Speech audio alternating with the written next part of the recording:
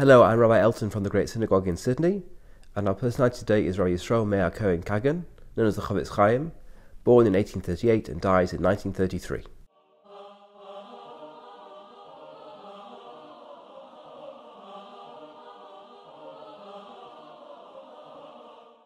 Rabbi Yisrael Meir Cohen, known as Pupko in his early life and later adopting the surname of Kagan, is the great proof that a person's reputation and their impact does not derive always from their institutional position or from their official title or role, but can derive from their reputation for scholarship and for saintliness.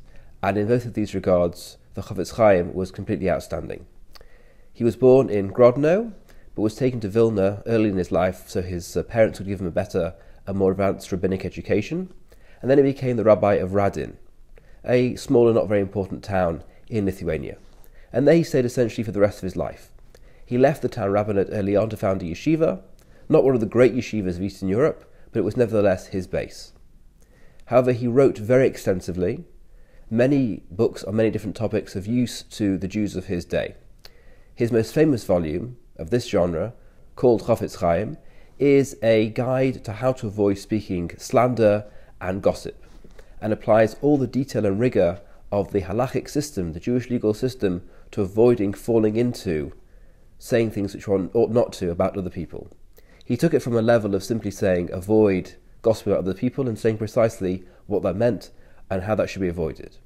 It was said of him, incidentally, that you might think that his conversation would be very boring because it was so restricted in what he thought that people could or should say. In fact, he was a great conversationalist who was always very witty and engaging in conversation and could do so without ever talking about other people or what other people were doing. His work, which is most used day to day, is called Mishnah Berurah, and it's a commentary on the Orach Chaim section of the Shulchan Aruch, the Code of Jewish Law, dealing with day to day matters like prayer and Shabbat and Yom Tov and so on and so forth. And it summarizes all the legal opinions since the Shulchan Aruch was written in the 16th century up until his day at the turn of the 19th to 20th century.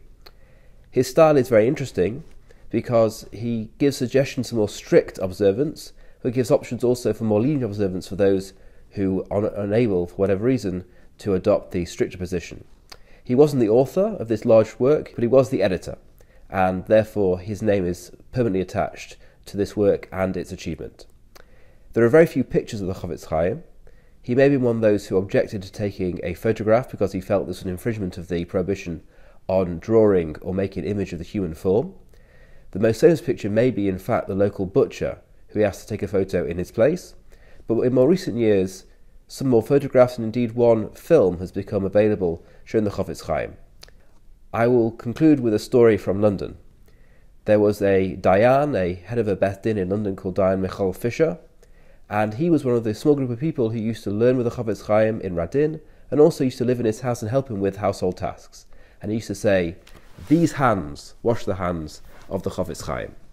His reputation for saintliness exceeded really even his reputation for scholarship, and it was an honour for Rabbi Fisher to do even the most minor tasks for such an extraordinary man as Rabbi Yisrael Meir HaKohen Kagan.